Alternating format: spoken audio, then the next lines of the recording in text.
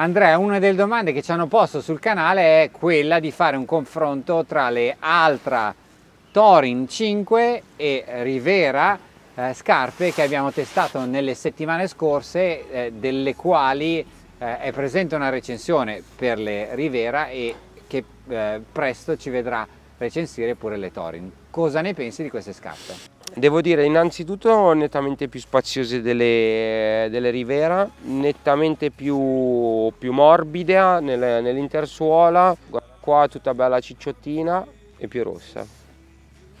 Secondo te Andrea chi sono adatte queste due scarpe e secondo te c'è una differenza di tipologia di podistamatore? Allora, sono scarpe per atleti relativamente leggeri, io davvero sopra i 75 kg le vedo male, le vedo come scarpe da allenamenti brevi, cioè tipo delle corse lente sui 10-12 km massimo e secondo me è corso anche un buon ritmo perché comunque sono delle scarpe che ti fanno correre in avampiede quindi ti fanno spingere, non sono scarpe riposanti. La, la Torin è per atleti un pochino più lenti, secondo me invece la Rivera è scarpa per, per atleti un attimino più veloci. A livello di ritmi che differenze hai notato e se dovessi parlare dal 3 al chilometro fino al 7 al chilometro quale delle due utilizzeresti per quali ritmi? No, allora sicuramente le, le Rivera le utilizzerei per le corse un pochino più svelte, ti devo dire che, che vi aggiucchiano abbastanza. Le Torine invece le ho, le ho usate a 4,30, 4,20, 4,10 anche,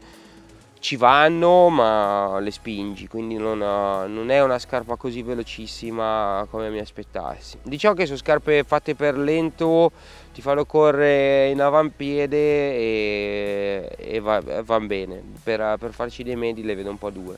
Poi è ovvio che c'è sempre lì, sto parlando un po' di me, ma credo che qualcuno ha, ha delle corse, a, sto pensando oggi a Max che doveva fare il lungo, un medio a 4,30, 4,35 la Torin se la sarebbe potuta utilizzare. Invece cosa ne dici del, dell'Intersuola? Hanno una mescola relativamente diversa, cosa ne dici? Sì, una è la Ego e l'altra è la Ego Max, eh, sulla Torin c'è l'Ego Max, è un pochino più morbida sicuramente, c'è anche un pochino più di, di, mescola, no neanche tanta, forse sì un pochino, no mi frega la, la colorazione della, della, della suola, eh, devo dire che comunque in generale quella della Torin è più, affonda un pochino di più, è più morbida. E questo secondo te ha un impatto sulla biomeccanica di corsa oppure invece tutte e due facilitano la corsa di avampiede? No, no, tutte e due facilitano la corsa di avampiede, anzi quasi fin troppo perché devo dire che la, la, la Torin ma anche la Rivera mi ha lasciato un po' di affaticamento ai polpacci. Diciamo la verità è che era un periodo che stavo correndo tra topo e altra, sempre con drop bassissimi, quindi comunque ero già affaticato di mio sui polpacci e diciamo che in generale su scarpe un po' impegnative. Invece cosa dice a livello di battistrada? Avevi elogiato al massimo le Rivera, hai notato le stesse caratteristiche sulle Torin 5 oppure come si differenziano? Allora, stavo dicendo, mentre lo dicevi riguardavo le, Uh, il battistrada della Rivera che si stava consumando, ho detto ma cosa sta dicendo Max? E poi invece mi è ritornato in mente di quando ero su a Bormio che, che si scivolava invece con le, le, Rivera no. Si sta un po' consumando il battistrada mentre quelle delle Torin è molto intagliato anche lui in maniera diversa e questo è strano perché dici sono uscite più o meno insieme ma sono diverse. Ed è molto, mi sembra molto più resistente il battistrada sulla Torin.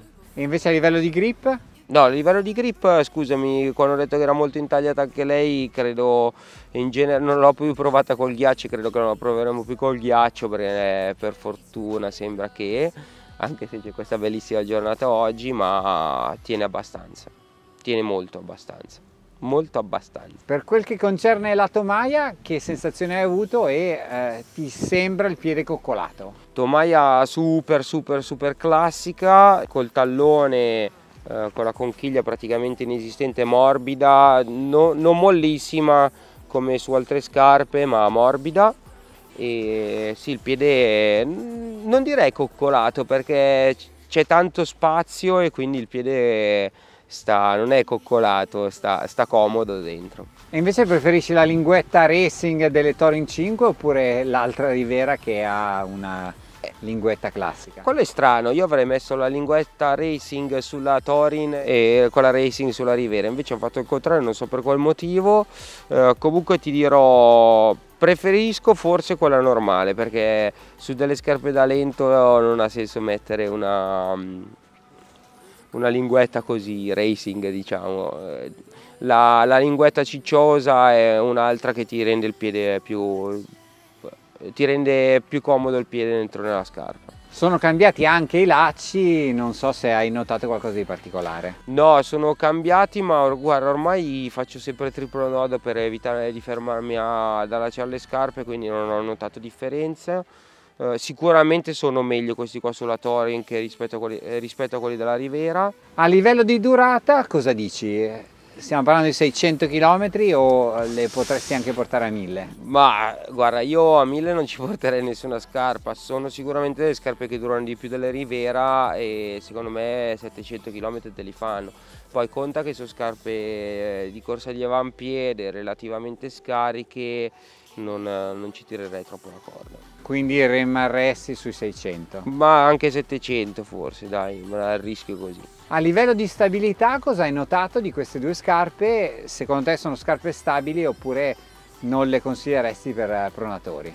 No, beh, eh, ascoltami, guarda, guarda quanta, mm, quanto è largo la, la pianta, sono scarpe molto stabili eh, poi corsa di avampiede, quindi fondamentalmente eh, eh, c'è poca pronazione. Se dovessi dare un consiglio al podista amatore tra uno dei due modelli, quale eh, suggeriresti? Bella domanda questa, non saprei. Allora, se dovessi guardarle così come scarpa prendere, fuori, prenderei una Torin.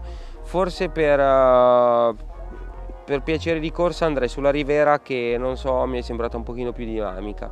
Quindi per l'idea della scarpa e per l'utilizzo che ne faccio io eh, di una scarpa così qualche volta quando ho voglia di, di, correre un pochino più forte o che sto meglio di gambe preferisco la, la Rivera in generale. Andrea, suggerisci stesso numero o mezzo numero in più per, eh, per queste eh, Torin 5? Stesso numero, numero più piccolo, questa qua è un mezzo numero più grande ma direi che il mezzo numero va sempre bene.